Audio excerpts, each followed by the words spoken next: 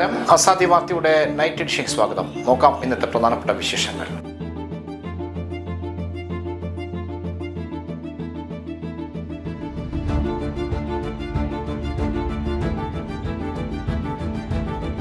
San ഫെർണാണ്ടോയ്ക്ക് water salute നൽകി വിഘ്നം. V S തുടങ്ങി പിണറായി യാഥാർത്ഥ്യമാക്കി സ്വപ്ന പദ്ധതിക്ക് പിന്നിൽ ഇടതു സർക്കാരുകളുടെ ഇച്ഛാശക്തി. കൊച്ചി സൂപ്പർ ലീഗ് കേരളയിൽ കൊച്ചി ടീമിന് പേരായി. ന്യൂജൻ കേരളം രാജ്യത്തെ ആദ്യ ജനറേറ്റീവ് എ ഐ കോൺക്ലേറ്റീവിന് തുടക്കമായി. ലോകത്ത് ആത്മഹത്യകൾ കൂടുതൽ ഇന്ത്യയിൽ. ഞെട്ടിക്കുന്ന കണക്കുകൾ പുറത്തു. വിശദമായ വാർത്തകളിലേക്ക് പോകാം. സൂപ്പർ ലീഗ് കേരളയിൽ കൊച്ചി ടീമിന്റെ പേര് പ്രഖ്യാപിച്ച് നടനും ടീമിന്റെ ഉടമയുമായ പൃഥ്വിരാജ്. സമൂഹ മാധ്യമങ്ങളിലൂടെയാണ് നടൻ ടീമിന്റെ പേര് പ്രഖ്യാപിച്ചത് ഫോർസ കൊച്ചി എഫ് സി എന്നാണ് ടീമിന്റെ പേര്. ഒരു പുതിയ അധ്യായം കുറിക്കാൻ ഫോർസ കൊച്ചി കാൽപന്തിന്റെ ലോകത്തിലേക്ക് വിജയം നേടാൻ ഞങ്ങൾ കളത്തിലിറങ്ങിയാണ്. പല നാടുകളിലെ ലോകോത്തര പ്രതിഭകളെയും കൊച്ചിയുടെ സ്വന്തം ആവേശം നിറഞ്ഞ ആരാധകരെയും ഒന്നിപ്പിക്കാൻ ഒരു പുത്തൻ ചരിത്രം തുടങ്ങാൻ പൃഥ്വിരാജ് ഫേസ്ബുക്കിൽ കുറിച്ചു. ടീമിന്റെ പേര് നിർദ്ദേശിക്കാൻ ആവശ്യപ്പെട്ട് പൃഥ്വിരാജും സുപ്രിയയും ഫേസ്ബുക്കിൽ മുമ്പ് പോസ്റ്റിട്ടിരുന്നു സൂപ്പർ ലീഗ് കേരള ഫുട്ബോൾ ക്ലബ്ബായ കൊച്ചി പൈപ്പേഴ്സിന്റെ ഓഹരിയാണ് പൃഥ്വിരാജ് വാങ്ങിയത്. ഇതോടെ കേരളത്തിലെ പ്രൊഫഷണൽ ഫുട്ബോൾ ടീമിന്റെ സഹ ഉടമയാകുന്ന ആദ്യ സിനിമാ താരമായും പൃഥ്വിരാജ് മാറി. കൊച്ചി തിരുവനന്തപുരം കോഴിക്കോട് തൃശൂർ കണ്ണൂർ മലപ്പുറം എന്നിവിടങ്ങളിലെ ആറ് ടീമുകളാണ് ആദ്യ സീസണിൽ സൂപ്പർ ലീഗിൽ പങ്കെടുക്കുക. പ്രഥമ സൂപ്പർ ലീഗിന് കേരളയ്ക്ക് സെപ്റ്റംബർ ആദ്യവാരം തുടക്കമാകും. പ്ലസ് ടു ഇംപ്രൂവ്മെന്റ് പരീക്ഷാഫലം പ്രസിദ്ധീകരിച്ചു. ഹയർ സെക്കൻഡറി രണ്ടാം വർഷ പരീക്ഷാഫലം പ്രസിദ്ധീകരിച്ചു. ജൂണിൽ നടന്ന പരീക്ഷയുടെ ഫലമാണ് വ്യാഴാഴ്ച പ്രസിദ്ധീകരിച്ചത്. പരീക്ഷാഫലം വെബ്സൈറ്റിൽ ലഭ്യമാണ്. ചരിത്ര നിമിഷത്തിലേക്ക് നങ്കൂരമിട്ട് വിയറ്റ്നാം അന്താരാഷ്ട്ര തുറമുഖം. ആദ്യ മദർഷിപ്പായ സാൻ ഫെർണാണ്ടോ തീരം തൊട്ടു. രാവിലെ ഏഴോടെ ഔട്ടർ ഏരിയയിലെത്തിയ സാൻ ഫെർണാണ്ടോ ഒൻപതോടെ തുറമുഖത്ത് അടുപ്പിച്ചു വാട്ടർ സല്യൂട്ട് നൽകിയാണ് കപ്പലിനെ സ്വീകരിച്ചത്. കപ്പലിനെ സ്വീകരിക്കാൻ ധാരാളം പ്രദേശവാസികളും എത്തിയിരുന്നു. ചെണ്ട കൊട്ടിയും ആർപ്പ് വിളിച്ചും ജനക്കൂട്ടവും കപ്പലിനെ സ്വീകരിച്ചു. ഉദ്യോഗസ്ഥരട അടങ്ങിയ ടെക് ബോട്ടുകളാണ് മദർഷിപ്പിനെ സ്വീകരിച്ചത്. കപ്പലിനു ഔദ്യോഗിക സ്വീകരണം നാളെ പത്തിന് മുഖ്യമന്ത്രി നിർവഹിക്കും. ഡാനിഷ് കമ്പനിയായ മെസ്കിന്റെ കപ്പലാണ് സാൻ ഫെർണാണ്ടോ ജൂലൈ രണ്ടിനാണ് സിയാമേനിൽ നിന്നും കപ്പൽ പുറപ്പെട്ടത്. രണ്ടായിരം കണ്ടെയ്നറുകളായാണ് കപ്പലിലുള്ളത്. കേരളത്തിലെ സ്വപ്നം തീരമാണ് തീരമണയുകയാണെന്ന് മുഖ്യമന്ത്രി പിണറായി വിജയൻ. വിഴിഞ്ഞം അന്താരാഷ്ട്ര തുറമുഖത്ത് ആദ്യ ദർശിപ്പായ സാൻ ഫെർണാണ്ടോ എത്തിയതിന്റെ സന്തോഷം പങ്കുവെക്കുകയായിരുന്നു മുഖ്യമന്ത്രി. സ്വപ്നം തീരമാ തീരമണയുന്നു. കേരളത്തിന്റെ അഭിമാനമായ വിഴിഞ്ഞം തുറമുഖത്ത് ആദ്യ മദർഷിപ്പ് എത്തുകയാണ്. സാൻ ഫെർണാണ്ടോ എന്ന കപ്പൽ പുറംകടലിൽ എത്തി. നാളെ രാവിലെ കേരളത്തിന് വേണ്ടി സാൻ ഫെർണാണ്ടോയ്ക്ക് ഔദ്യോഗിക സ്വീകരണം നൽകും. മുഖ്യമന്ത്രി ഫേസ്ബുക്കിൽ കുറിച്ചു. രാവിലെ ഒൻപതോടെയാണ് സാൻ ഫെർണാണ്ടോ തീരത്തെത്തിയത്. ഏഴു മണിയോടെ ഔട്ടർ ഏരിയയിലെത്തിയ മദർഷിപ്പിനെ ടെക് ബോട്ടുകൾ വാട്ടർ സല്യൂട്ട് നൽകി സ്വീകരിച്ചതാണ്.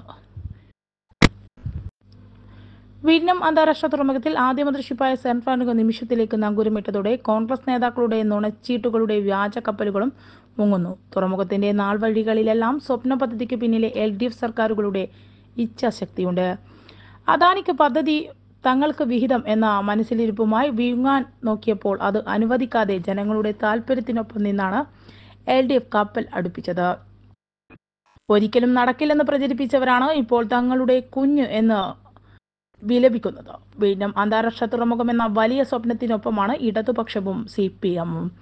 എക്കാലവും നിലയുറപ്പിച്ചിരുന്നത്. പ്രതിപക്ഷത്തിനിരുന്നപ്പോൾ സി പി എം എതിർത്തെന്നും മരണത്തിൽ വന്നപ്പോൾ ഉത്സാഹം കാണിക്കുന്നുവെന്ന വാദങ്ങളിലെ പൊള്ളത്തരം പഴയകാല വാർത്തകൾ തന്നെ തുറന്നു കാണിക്കും. നായനാർ സർക്കാരിന്റെ കാലത്ത് സജീവമായ ആലോചനകൾ രണ്ടായിരത്തി ആറിൽ വി എസ് സർക്കാരിന്റെ കാലമെത്തിയപ്പോൾ കൂറെ കൂടി മുന്നേറി. പരിസ്ഥിതി അനുമതിക്കുള്ള ശ്രമം തുടങ്ങി. കോവിഡും മഹാമാരിയും അടക്കം തുടർച്ചയായ പ്രതിബന്ധങ്ങളിലൂടെ കടന്നുപോയപ്പോഴും ഈ രണ്ടായിരത്തി പതിനാറിലെ പിണറായി സർക്കാർ പദ്ധതി വേഗത്തിലാക്കാനുള്ള ശ്രമങ്ങൾ തുടർന്നു. രണ്ടായിരത്തി പതിമൂന്ന് ഏപ്രിൽ പത്തൊമ്പതിന് വിഴിഞ്ഞം മുതൽ സെക്രട്ടേറിയറ്റ് വരെ പതിനേഴ് കിലോമീറ്റർ നീളുന്ന മനുഷ്യച്ചങ്ങളുടെ ഒരറ്റത്ത് അന്നത്തെ സി പി ഐ എം സംസ്ഥാന സെക്രട്ടറി പിണറായി വിജയനും മറ്റേ അറ്റത്ത് സി പി എം നേതാവ് പന്ന്യൻ രവീന്ദ്രനുമായിരുന്നു. പതിനായിരക്കണക്കിന് ജനങ്ങൾ അണിനിരുന്ന സമരം അന്നത്തെ ഉമ്മൻചാണ്ടി സർക്കാരിനോട് ആവശ്യപ്പെട്ടത് തടസ്സങ്ങളെല്ലാം നീക്കി വിഴിഞ്ഞം തുറമുഖം യാഥാർത്ഥ്യമാക്കണം എന്നാണ്. കൈകോർത്തവരിൽ വിഴിഞ്ഞം കല്ലുപെട്ടാൻ കൂടി S F I S F S കോൺവെന്റിലെ സിസ്റ്റർമാരടക്കം ഉണ്ടായിരുന്നു. കേന്ദ്രാനുമതി തേടി പദ്ധതി നടപ്പാക്കാൻ ആവശ്യപ്പെട്ട് പി രാജ്ഭവൻ മാർച്ച് ഉദ്ഘാടനം ചെയ്തു. പിണറായി വിജയനായിരുന്നു. അതേസമയം ഉമ്മൻചാണ്ടിയുടെ കാലത്ത് നിയമസഭയിൽ പദ്ധതി അട്ടിമറിക്കപ്പെടുന്നുവെന്ന ജനങ്ങളുടെ ആശങ്ക ഉന്നയിച്ച പ്രതിപക്ഷത്തോട് തുറമുഖ മന്ത്രി കെ ബാബു പറഞ്ഞത് അതിനേക്കാൾ പ്രധാനപ്പെട്ട വിഷയമുണ്ട് ചർച്ച ചെയ്യാൻ എന്നാണ്. രണ്ടാം പിണറായി സർക്കാരിന്റെ കാലത്ത് പദ്ധതിക്ക് അതിവേഗം വന്നതോടെ പദ്ധതിക്ക് തടസ്സമാകുന്ന സമരങ്ങൾക്ക് കോൺഗ്രസ് പിന്തുണ നൽകുകയായിരുന്നു. വിഴിനം തുറമുഖം നിർമ്മാണത്തെ തുടർന്ന് മറ്റു തീരങ്ങളിൽ ആഘാതമുണ്ടാക്കുന്ന ഗുരുതര പ്രശ്നമുണ്ടാകുമെന്നും തുറമുഖത്തിനെതിരായ സമരത്തിന് യു ഡി എഫും കോൺഗ്രസും പിന്തുണ നൽകുമെന്നുമെന്നാണ് പ്രതിപക്ഷ നേതാവ് വി ഡി സതീശൻ പറഞ്ഞത്. News desk Azad media. നിർമ്മിത ബുദ്ധിയുടെ സാധ്യതകളും സമൂഹത്തിലും സമ്പദ് വ്യവസ്ഥയിലും അതുണ്ടാക്കുന്ന സ്വാധീനവും ചർച്ച ചെയ്യുന്ന രാജ്യത്തെ ആദ്യ ജനറേറ്റീവ് എ ഐ കോൺക്ലേവിന് കൊച്ചിയിൽ തുടക്കമായി. Kochi Lulu grand Hyatt Bolgatty international convention സെന്ററിൽ നടന്ന ദ്വിദിന കോൺക്ലേവ് മുഖ്യമന്ത്രി പിണറായി വിജയൻ ഉദ്ഘാടനം ചെയ്തു. Kerala state industrial development corporation I B എമ്മുമായി ചേർന്നാണ് കോൺക്ലേവ് നടത്തുന്നത്. രണ്ടായിരത്തോളം പ്രതിനിധികളാണ് കോൺക്ലേവിൽ പങ്കെടുക്കുന്നത്. മന്ത്രിമാർ ഐ ബി എം അംഗങ്ങൾ വ്യവസായ ടെക്നോളജി പ്രമുഖർ തുടങ്ങിയവർ കാഴ്ചപ്പാടുകൾ പങ്കിടും. പതിനേഴ് സെഷനുകളിലായി ഡെമോകൾ ആക്ടിവേഷനുകൾ വ്യവസായ വിദഗ്ധരുമായുള്ള കൂടിക്കാഴ്ച എന്നിവ ഉണ്ടാകും. കേരളത്തിലെ ജനറേറ്റീവ് ഹബ്ബായി ഉയർത്തുന്നതിലെ നായികക്കല്ലാണ് എ ഐ കോൺക്ലേവ് എന്ന് മുഖ്യമന്ത്രി പിണറായി വിജയൻ. പുതിയ സാങ്കേതിക വിദ്യകൾക്കും പുതിയ സംരംഭങ്ങൾക്കും കേരളം നൽകുന്ന പരിഗണനയുടെ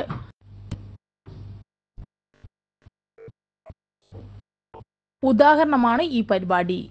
ഐ ബി എമ്മിനൊപ്പം ഇന്ത്യയിലെ ആദ്യത്തെ international general I A I കോൺക്ലേവിന് ആതിഥേയത്വം വഹിക്കാൻ സാധിച്ചതിൽ സന്തോഷമുണ്ടെന്നും മുഖ്യമന്ത്രി പറഞ്ഞു.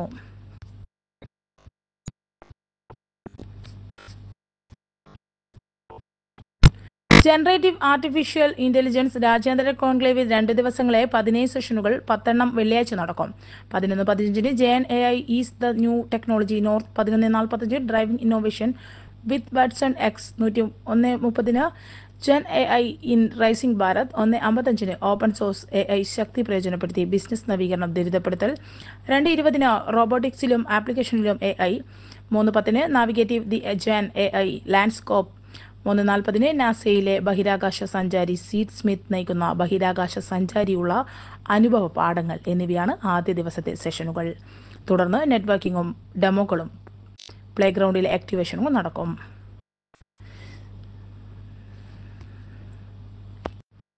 അങ്ങനെ രണ്ട് ദിവസങ്ങളിലുള്ള സെഷനുകൾക്ക് ശേഷം മൂന്ന് നാൽപ്പത്തഞ്ചിന് സമാപന സമ്മേളനം നടക്കും. News desk Azad Media. L D F അവിശ്വാസം പാസായി കാവനൂരിൽ ലീഗിന് പ്രസിഡന്റ് സ്ഥാനം നഷ്ടമായി. കാവനൂർ പഞ്ചായത്ത് പ്രസിഡന്റിനെതിരെ എൽ ഡി എഫ് കൊണ്ടുവന്ന അവിശ്വാസം പാസായി മുസ്ലിം ലീഗ് പ്രസിഡന്റിനെതിരായ അവിശ്വാസം കോൺഗ്രസ് പിന്തുണയോടെയാണ് പാസായത് യു ഡി എഫ് ഭിന്നതയെ തുടർന്ന് കോൺഗ്രസ് പഞ്ചായത്ത് അംഗം ഷഹർബാൻ ഷരീഫ് നേരത്തെ വൈസ് പ്രസിഡന്റ് സ്ഥാനം രാജിവെച്ചിരുന്നു. പിന്നീട് നടന്ന തെരഞ്ഞെടുപ്പിൽ എൽ ഡി എഫിലെ ടി സുനിതകുമാരിയെ തെരഞ്ഞെടുത്തു. ഇതോടെ ഭരണസമിതിക്കെതിരെ എൽ ഡി എഫ് അവിശ്വാസം കൊണ്ടുവരികയായിരുന്നു. പത്തൊമ്പത് അംഗങ്ങളുള്ള പഞ്ചായത്തിൽ മുസ്ലിം ലീഗ് ഒമ്പത് സി പി ഐ എം ഏഴ് കോൺഗ്രസ് മൂന്ന് എന്നിങ്ങനെയാണ് കക്ഷിനില. ഇതിൽ പത്തംഗങ്ങളുടെ പിന്തുണയോടെയാണ് അവിശ്വാസം പാസ്സായത് ഭരണം നേടിയ എൽ ഡി എഫ് പ്രവർത്തകർ കാവന്നൂർ അങ്ങാടിയിൽ ആഹ്ലാദ പ്രകടനം നടത്തി. C P M Areekode area committee അംഗം P Parameswaran local secretary P T Sivadasan block panchayat member Malikal Abdurahman panchayat vice president T Sunitha Kumari V Ramachandran എന്നിവർ നേതൃത്വം നൽകി. News desk Azad media. ഇന്ത്യയിൽ യുവാക്കൾക്കിടയിലും വയോജനങ്ങൾക്കിടയിലും നേരിടുന്ന വലിയ പ്രതിസന്ധിയാണ് ആത്മഹത്യ. ലോകത്ത് ഏറ്റവും കൂടുതൽ ആത്മഹത്യകൾ സംഭവിക്കുന്ന രാജ്യമായി മാറിയിരിക്കുകയാണ് ഇന്ത്യ. ഏപ്രിലിൽ പുറത്തിറക്കിയ national crime records bureau report പ്രകാരം രണ്ടായിരത്തി ഇരുപത്തിരണ്ടിൽ ഒന്ന് ഒന്ന് ദശാംശം എഴുപത്തൊന്ന് ലക്ഷം ആളുകളാണ് ഇന്ത്യയിൽ ആത്മഹത്യ ചെയ്തത്. പത്ത് ലക്ഷം ആളുകളിൽ പന്ത്രണ്ട് ദശാംശം നാല് എന്ന രീതിയിൽ ആത്മഹത്യാ നിരക്ക് വർദ്ധിച്ചിരുന്നു. ഇന്ത്യയിൽ തന്നെ റിപ്പോർട്ട് ചെയ്തതിൽ ഏറ്റവും വലിയ നിരക്കാണ് ഇത്. ലോകത്തിലെ ഏറ്റവും വലിയ ആത്മഹത്യാ നിരക്കാണിത്. ആരോഗ്യരംഗത്തെ വിദഗ്ധർ പറയുന്നത് പ്രകാരം ഡിപ്രഷനാണ് പ്രധാന കാരണം. പ്രധാനമായും തലച്ചൊറിഞ്ഞെ ബാധിക്കുന്ന ഒരു രോഗാവസ്ഥയാണ് വിഷാദം. ഡിപ്രഷൻ എന്ന് ഇംഗ്ലീഷിൽ പറയുന്നു. ഭരണരീതി ഭക്ഷണരീതി ഉറക്കം വ്യക്തിത്വം തൊഴിൽ കുടുംബം ലൈംഗിക ജീവിതം എന്നിവയെ വലിയ തോതിൽ ബാധിക്കുമ്പോഴാണ് വിഷാദ രോഗമായി മാറുന്നത്. കിട്ടിക്കൊണ്ടിരിക്കുന്ന സ്നേഹം നഷ്ടപ്പെടുമ്പോൾ രോഗം പിടിപെടുമ്പോൾ ജോലി നഷ്ടപ്പെടുമ്പോൾ സാമ്പത്തിക പ്രശ്നങ്ങളിൽ പെടുമ്പോൾ പ്രിയപ്പെട്ടവർ മരണപ്പെടുമ്പോൾ പ്രകൃതി ദുരന്തങ്ങൾ ഉണ്ടാകുമ്പോൾ ബാല്യകാലത്തു അനുഭവിക്കേണ്ടി വന്ന തിക്താനുഭവങ്ങൾ ബാല്യകാല മുതിർന്നവരെ ലൈംഗിക ചൂഷണത്തിനിരയായാൽ ബലാത്സംഗത്തിനിരയായാൽ സ്ത്രീകളിൽ പ്രസവാനന്തരം ആർത്തവിരാമം അഥവാ മെനോപോസ് തുടങ്ങിയ പല സാഹചര്യങ്ങളും ആളുകളെ വിഷാദ രോഗികളാക്കി തീർക്കാറുണ്ട്. ജോലി സാമ്പത്തിക പ്രശ്നങ്ങൾ ബന്ധങ്ങളിലുള്ള പ്രശ്നങ്ങൾ ആരോഗ്യം തുടങ്ങിയവയൊക്കെ സ്ട്രെസ് വരാൻ പ്രധാന കാരണങ്ങളാണ്. സ്ട്രെസ് ഒരുപാട് വർദ്ധിക്കുമ്പോൾ അത് ഉത്കണ്ഠയിലേക്കും പിന്നിലെ ഡിപ്രഷനിലേക്കും നയിക്കും. ഇത് ആത്മഹത്യ ചെയ്യാൻ ആളുകളെ പ്രേരിപ്പിക്കും. ആത്മഹത്യ ചെയ്യുന്നവരിൽ അമ്പത് മുതൽ തൊണ്ണൂറ് ശതമാനം ആളുകളും ഡിപ്രഷൻ ഉത്കണ്ഠ ബൈപ്പോളാർ ഡിസോർഡർ തുടങ്ങിയ മാനസിക രോഗങ്ങൾ നേരിടുന്നവരാണ്. പഠനങ്ങൾ പറയുന്നു ന്യൂസ് ഡെസ്ക് ആസാദി മീഡിയ. തോട്ടവുമായി തോട്ടോടിയിലെ national service scheme. Thottada government vocational higher secondary സ്കൂളിലെ നാഷണൽ സർവീസ് സ്കീം വളണ്ടർമാർ ചെണ്ടുമല്ലിക തോട്ടത്തിന്റെ വിത്തിടൽ ഉത്സവം സംഘടിപ്പിച്ചു. ഓണക്കാലത്ത് പൂക്കളം ഒരുക്കുന്നതിന്റെ ഭാഗമായാണ് എൻ എസ് എസ് വളണ്ടർമാർ തോട്ടമൊരുക്കിയത്. പ്രവർത്തനത്തെ ഭാഗമായി ഇക്കോളജിയം പൂന്തോട്ട നിർമ്മാണവും എന്ന വിഷയത്തിൽ ക്ലാസ് എടുത്തു. Principal P P Babu program officer Shijila M K Bindu K വളണ്ടർമാരായ Sanjal റിസാം Navad Prithvidas Nandana എന്നിവർ നേതൃത്വം നൽകി. നഗരസഭകൾക്ക് പ്രത്യേക കർമ്മ പദ്ധതി ദ്വിദിന ശില്പശാല തുടങ്ങി മാലിന്യമുക്തം നവകേരളം.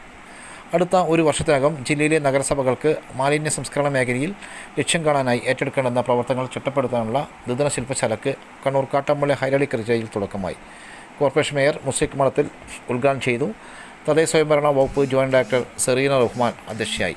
ജനങ്ങളുടെയും ഉദ്യോഗസ്ഥരുടെയും മനോഭാവമാറ്റം ഉണ്ടാക്കലാണ് പ്രധാന ലക്ഷ്യമായി പരിഗണിക്കേണ്ടതെന്ന് ശില്പശാല ഉദ്ഘാടനം ചെയ്തുകൊണ്ട് മേയർ പറഞ്ഞു. ജില്ലയിലെ നഗരസഭ സെക്രട്ടറിമാർ ക്ലീൻ സിറ്റി മാനേജർമാർ ഹരിത കേരള മിഷൻ ശുചിത്വ മിഷൻ കില എന്നിവയുടെ റിസോഴ്സ് പേഴ്സൺമാർ ഹരിതകർമ്മ സേന കൺസോർഷ്യൻ ഭാരവാഹികൾ എന്നിവരാണ് ജില്ലാതല ശില്പശാലയിൽ പങ്കെടുക്കുന്നത്. തദ്ദേശ ഭരണ വകുപ്പ് KILA Haritha Kerala mission Suchitwa mission K S W M P Kudumbashree clay കിൻ Kerala company എന്നിവയുടെ നേതൃത്വത്തിലാണ് ശില്പശാല സംഘടിപ്പിക്കുന്നത്.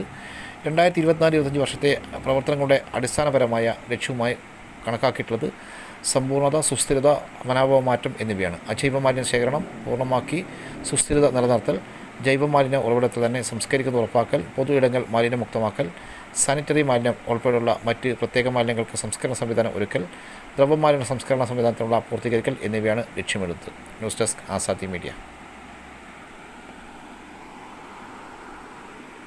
പിണറായിൽ പോളിടെക്നിക് ധർമ്മട മണ്ഡലത്തെ Pinarayi education ഹബിൽ artificial intelligence and mechanic learning embedded system automobile engineering construction technology എന്നീ കോഴ്സുകളോടുകൂടി സർക്കാർ പോളിടെക്നിക് കോളേജ് ആരംഭിക്കും. പ്രിൻസിപ്പൽ ഒന്ന് വകുപ്പ് മേധാവി നാല് അസിസ്റ്റന്റ് പ്രൊഫസർ നാല് വർക്ക്ഷോപ്പ് സൂപ്രണ്ട് ഒന്ന് ഡെമോൺസ്ട്രേറ്റർ ഇൻ എഞ്ചിനീയറിംഗ് നാല് വർക്ക്ഷോപ്പ് ഇൻസ്ട്രക്ടർ മെക്കാനിക്കൽ ഒന്ന് ഇൻസ്ട്രക്ടർ ഇൻ ഫിസിക്കൽ എഡ്യൂക്കേഷൻ ഒന്ന് സീനിയർ സൂപ്രണ്ട് ഒന്ന് ഹെഡ് അക്കൗണ്ടന്റ് ഒന്ന് ക്ലർക്ക് മൂന്ന് അറ്റൻഡർ ഗൈഡ് ടു രണ്ട് ലൈബ്രറിയൻ ഒന്ന് ഓഫീസ് അറ്റൻഡ് രണ്ട് വാച്ച്മാൻ രണ്ട് കേഷ്യൽ സീപ്പർ രണ്ട് എന്നിങ്ങനെ ടെസ്റ്റുകളും സൃഷ്ടിക്കാൻ ഇന്ന് ചേർന്ന മന്ത്രിസഭയോഗം തീരുമാനിച്ചു.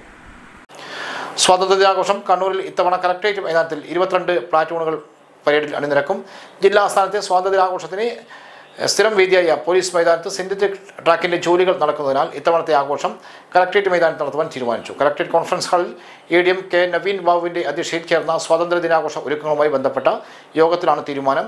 ഇരുപത്തിരണ്ട് പ്ലാറ്റൂണുകൾ സ്വാതന്ത്ര്യദിന പരേഡിൽ ഇത്തവണ അണിനിരക്കും. പോലീസ് നാല് എൻ സി സി നാല് സ്കൗട്ട് ആൻഡ് ഗൈഡ് ആറ് സ്റ്റുഡൻസ് പോലീസ് കേഡറ്റ് നാല് ജൂനിയർ റെഡ് ക്രോസ് രണ്ട് എക്സൈസ് ഒന്ന് വനംവകുപ്പ് ഒന്ന് എന്നിങ്ങനെയാണ് പ്ലാറ്റൂണുകൾ തയ്യാറാകുന്നത്. പരേഡിന്റെ പരിശീലനം ഓഗസ്റ്റ് ഒൻപത് പന്ത്രണ്ട് പതിമൂന്ന് തീയതികൾ നടക്കും. പരിശീലന പരേഡിലും സെറിമോണിയൻ പരേഡിലും ബാൻഡ് സെറ്റ് ഒരുക്കുന്നതിന് D S C centre saint Teresa's Anglo Indian girls school Kadambur higher secondary school എന്നിവരെ ചുമതലപ്പെടുത്തി.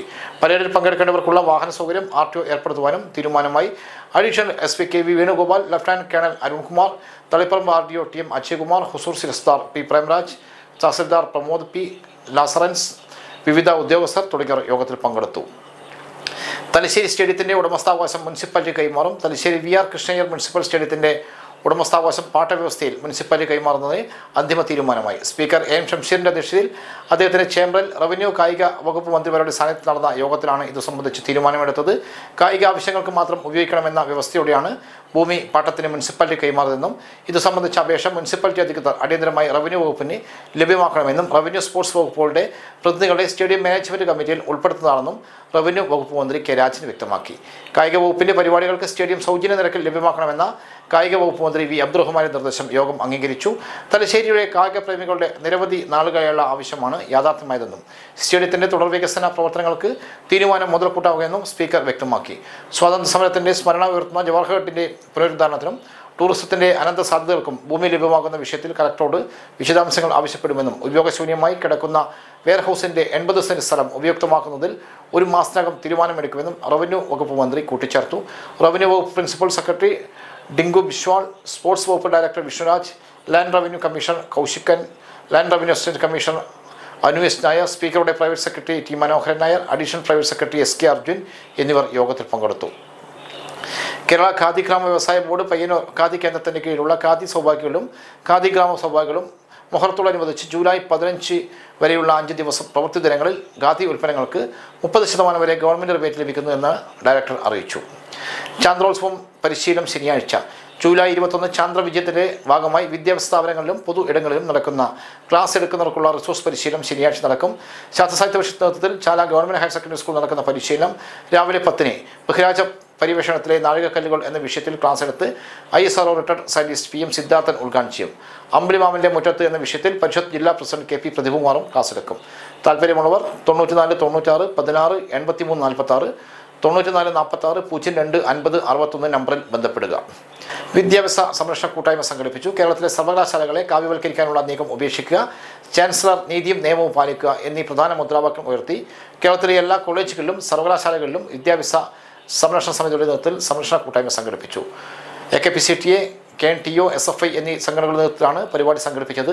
കണ്ണൂർ എസ് എൻ നടന്ന പരിപാടി A K P C T A ജില്ലാ secretary doctor Shanoj M P ഉദ്ഘാടനം ചെയ്തു. കെ എൻ ടി എ ജില്ലാ secretary Prathyush Purushothaman അധ്യക്ഷനായി S F I unit president Harishanth സംസാരിച്ചു. A K P C T S N college branch secretary doctor K Jithesh സ്വാഗതവും പ്രയാഗ് മുരളി നന്ദിയും പറഞ്ഞു. ഭർത്താവ് ഭാര്യയെ തലക്കടിച്ച് കൊലപ്പെടുത്തി. കണ്ണൂർ കുടിയാൻമലയിൽ ഭാര്യയെ ഭർത്താവ് പാല കൊണ്ട് തലക്കടിച്ച് കൊലപ്പെടുത്തി. നെല്ലിക്കുറ്റി സ്വദേശി നാരായണനാണ് ഭാര്യ ഭവാനിയെ കൊലപ്പെടുത്തിയത്. ഇന്ന് പുലർച്ചെയായിരുന്നു സംഭവം. ഇവർ തമ്മിൽ വാക്കുതർക്കമുണ്ടാകുകയും അതേ തുടർന്നുണ്ടായ സംഘർഷത്തിനൊടുവിലാണ് നാരായണൻ ഭാര്യയെ കൊലപ്പെടുത്തിയതെന്നാണ് വിവരം. അതേസമയം നാരായണന് മാനസികാസ്വസ്ഥം ഉണ്ടായിരുന്നതായി നാട്ടുകാർ പറയുന്നുണ്ട്. ഇയാളെ പോലീസ് കസ്റ്റഡിയിലെടുത്തു.